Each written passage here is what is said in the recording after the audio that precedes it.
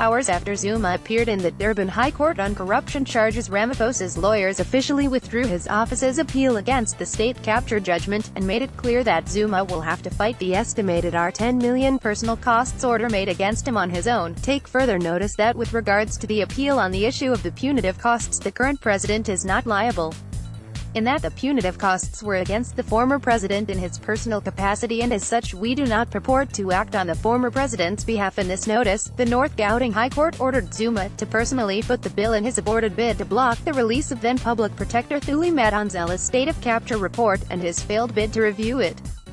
Three judges slammed his legal challenges as ill-advised and reckless. Zuma has yet to outline his opposition to the DA's challenge to his legal funding. His lawyer, Michael Hulley, has already indicated that Zuma intends to file a challenge to National Prosecution Authority head Shaun Abrahams' decision to put him on trial by mid-May. And that challenge, which may take years to finalize, will require significant funding.